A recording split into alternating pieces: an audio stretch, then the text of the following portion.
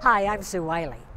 When was the last time you walked into a place and said, wow, this charming shop in the heart of historic downtown Georgetown is full of wonderful treasures. Unique Gifts and More is already famous for its jewelry, and there's a big home accessories department. There are the wonderful Kentucky Proud food products. All this and more waiting for you at Unique Gifts and More, where shopping is what shopping should be.